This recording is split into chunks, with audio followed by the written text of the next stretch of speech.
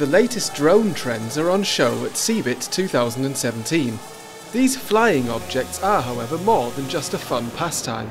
They are already being used in many industrial sectors today. Uh, my drones is made for agriculture only, and they can carry on 60 uh, kilograms um, and then spray the pesticides on the farm.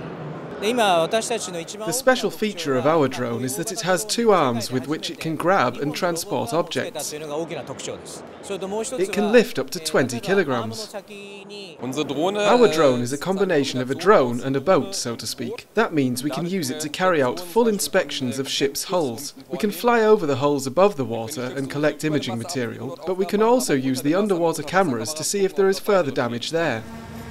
Various use scenarios for drones are on display in the Intel CeBIT Drone Park. Drones can particularly demonstrate their full strengths in dangerous deployments and in difficult to access areas, for example inspections of drilling platforms.